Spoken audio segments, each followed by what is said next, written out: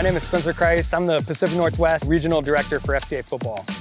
Parents can expect, one, you're gonna have an amazing group of coaches. You're gonna have coaches that are gonna love on your kids, pour into them, share their heart, and coach them hard.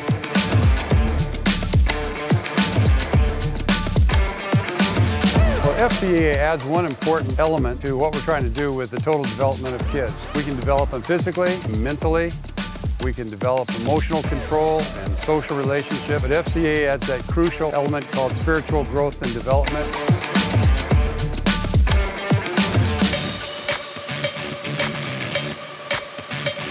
FCA, we're Fellowship of Christian Athletes, and FCA football, it's gonna be more than just a game. And so throughout camp, we are gonna do drills and skills, but we're gonna take time and we're gonna huddle up and we're gonna talk more about what it means to live a life that honors God through the game of football. God blessed us with the opportunity to play this game. We wanna give back by the way we play. We're gonna play harder.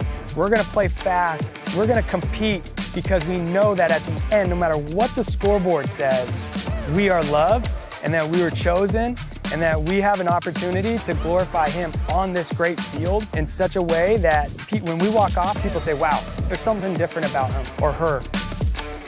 Ephesians 1 3 says this All praise to God, the Father of our Lord Jesus Christ. They're really excited to go anywhere to camp. When they leave, they leave with something important. They've heard coaches who are great role models talk about the excitement and adventure of following Jesus Christ. After they see what's available through a committed relationship with Christ, then uh, they leave camp enthused to go back to their school.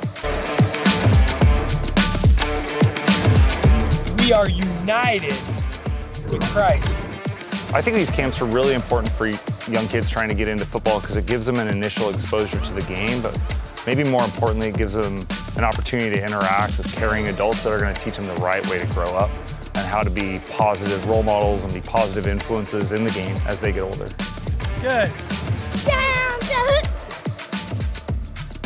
I think athletes can expect um, when they come to an FCA camp that they're going to learn, obviously, so get some quality instruction in the game, um, but also some quality instruction for life uh, so that they can continue their relationship with Jesus uh, and grow in their faith especially the younger ages, having a, an introduction to football that doesn't have the pressure of a game coming up or uh, performing for a coach or something like that. We, we have the ability to really take a different approach to it and, and really teach the sport um, without the pressure of having to get through a practice plan.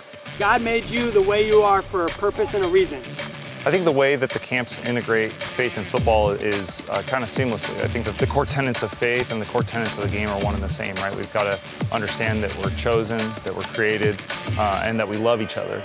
And love is, is an action that you demonstrate in the game, right? Through effort, through care.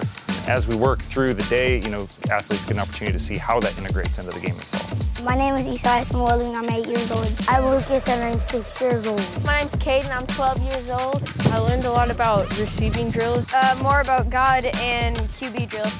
How to catch a punt. Cheese? Chicken nuggets! Cheese nuggets? Dairy product. Oh, I thought it was Froot Loops.